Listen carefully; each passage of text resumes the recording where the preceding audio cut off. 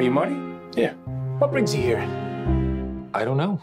Phyllis made me come. My sister. Oh. She must be very persuasive. Well, tell me about yourself. I run a fabrics company.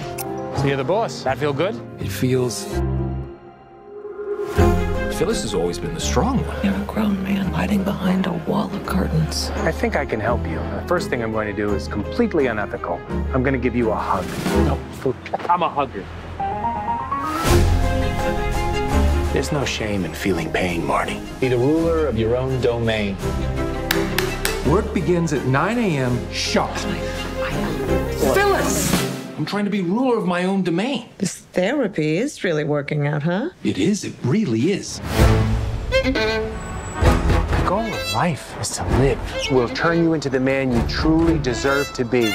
This doctor's a little unconventional. He's a miracle worker. What is he doing here?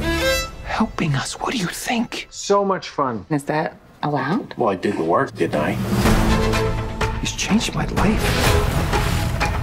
He's changed me.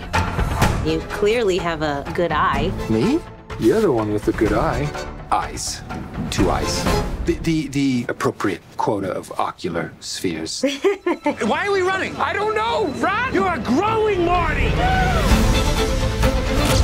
Is he your psychiatrist? Psychiatrist, business partner, best friend. How does all of that work? He just has no boundaries, and I don't trust him. Cut her out of your life. She's the only family I have. Without trust, we have nothing. I trust you completely. This is my decision. He's living in your head. I am going to take care of everything. Feels good, doesn't it?